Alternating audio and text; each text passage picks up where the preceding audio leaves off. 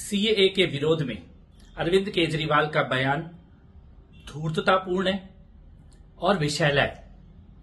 मैं अरविंद केजरीवाल जी से ये पूछना चाहता हूँ कि जो वो हिंदू, सिख, जैन, बौद्ध, पारसी शरणार्थियों को भारत में आने से रोकने के लिए विलाप कर रहे हैं, झूठ बोल रहे हैं, लोगों की नौकरियाँ चली जाएँगी, इस तरह की बातें कर रहे हैं, मैं ये पूछना चाहता हूँ, दिल्ली के मुख्यमंत्री ये जवाब दें कि रोहिंग्या और बांग्लादेशी घुसपैठियों के बारे में उनकी क्या राय है?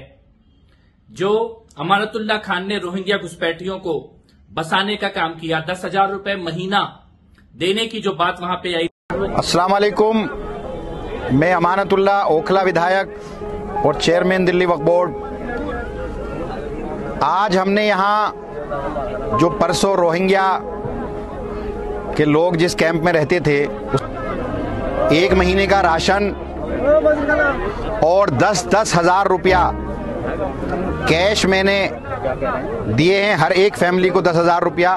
दिल्ली के सरकार में जुड़े हुए लोगों के द्वारा, आम आदमी पार्टी के लोगों के द्वारा, रोहिंग्या और बांग्लादेशी घुसपैठियों के आधार कार्ड, राशन कार्ड बनवाने की बात, उनके कैंप लगवाने की बात, इसके बारे में आज तक अरविंद केजरीवाल ने मुँह क्यों नहीं खोला?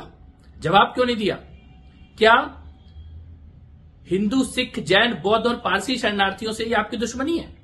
उसके अलावा सारे घुसपैठिए भी आपके मित्र हैं, आपके परिवार के लोग हैं, आपके दमाद हैं। उनको आप स्वागत करते हैं, उनको आप कैंप लगाते हैं, उनके आप पैसे देते हैं, उनको आप राशन देते हैं रोहिंग्याओं को। बांग्लादेशियों को कोर्ट में वकील खड़े करते हैं उनके लिए। लेकिन जब बात आती है पीड़ित, प्रताड़ित, शोषित सिखों की, जैन समाज के लोगों की, हिंदुओं की बौद्धों की, पारसियों की, तब आप रोना शुरू कर देते हैं? कि भारत में जगह नहीं है, भारत में लोगों के लिए जगह नहीं है?